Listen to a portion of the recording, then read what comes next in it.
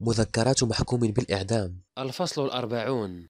من الغريب حقا أني لا أكف عن التفكير في الملك ومهما فعلت ومهما هززت رأسي فإن هناك صوت يتردد في أذني ويقول لي على الدوام هناك في نفس هذه المدينة في نفس هذه الساعة ولكن في قصر آخر رجل لديه كذلك حراس على كل أبوابه وهو شخص فريد من نوعه بين أفراد الشعب من أمثالك مع هذا الفارق الوحيد وهو أنه مرتفع بقدر ما أنت منخفض. إن حياته كلها دقيقة فدقيقة ليست إلا مجدا وعظمة وسرورا ومتعة وكل شيء من حوله عبارة عن حب واحترام وتبجيل. إن أكثر الأصوات ارتفاعا لتنخفض حينما تتحدث إليه وتنحني أمامه أكثر الجباه تيها وفخرا. ولا تقع عيناه إلا على الحرير والذهب وهو يرأس في هذه اللحظة اجتماعا من اجتماعات الوزراء.